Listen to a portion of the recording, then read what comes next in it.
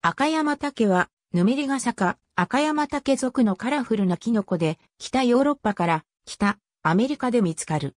ハイグルファースコニカスとして記載されたが、後に赤山竹属に移された。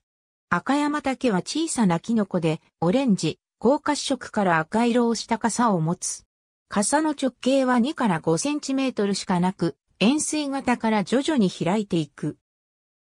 傘が開いても中央部は周辺に比べ尖っている。時間が経つにつれ色が暗くなり、傷つくと黒く変色する。軸は細くて黄色く、ものによっては時折8から9センチメートルほどの高さになる。ひだと胞子は白い。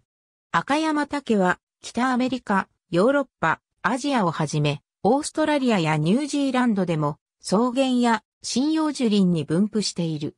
現在は赤山竹という名で呼ばれているが、実際は禁煙種の複合体であると考えられており、その中のいくつかは有毒であると考えられている。赤山竹はオーストラリアでも種として都市部周辺に存在するが、この種の多くの収集物にはもともと類似種のハイグラサイビートウゴラの名が当てがわれていた。サイズは小さく、表面は粘着質の物質に覆われているが、このキノコは食べることができる。しかし、20世紀初めに中国で食中毒事故が起こったことが報告されている。ありがとうございます。